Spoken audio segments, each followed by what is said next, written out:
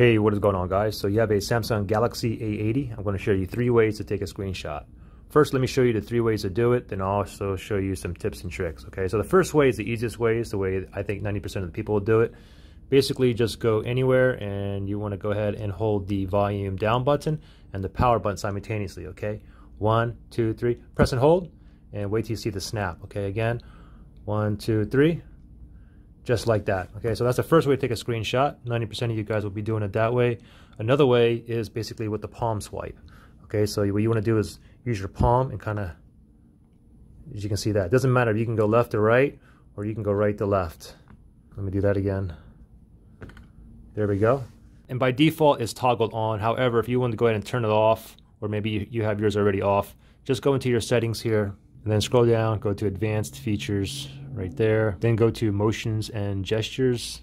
And then you see palm swipe to capture right here. Again, by default, that is on. Now the third way is going through the assistant menu where you'll be able to use one finger to take a screenshot. So simply go ahead and go into your settings first.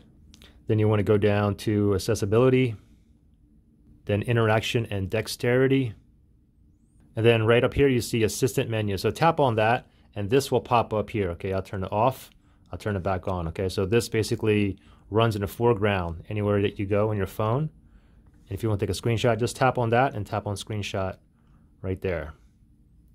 So let me give you some tips here. So if you open up a browser here, and let's say you want to go ahead and take a screenshot of not only this page here, not just this, but you also want to be able to go ahead and scroll take a screenshot of everything on here or, or the halfway point. So go ahead and take a screenshot again, and then you'll see this pop up right here. Now, if you press and hold this down arrow, it'll start moving down. So let's just say I want to go ahead and stop halfway. I'll go ahead and let go, and it's going to save all of that right there, okay? And every all your screenshots and everything will go into the gallery here.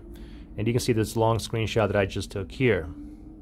Now, if there's not no place to scroll, uh, like right here on the home screen, if I go and take a screenshot, it's not going to give me that down arrow option, okay? But you have other things on here too. You can go ahead and you can crop this. You can go ahead and put a pencil mark on here. You can write something there. And then you can go ahead and just uh, save that. And of course, like I said, everything goes into your gallery here. And you can see that last screenshot that's cropped and I said hi on there is right there. So pretty simple. Any questions, let me know. Thanks for watching, guys. Bye.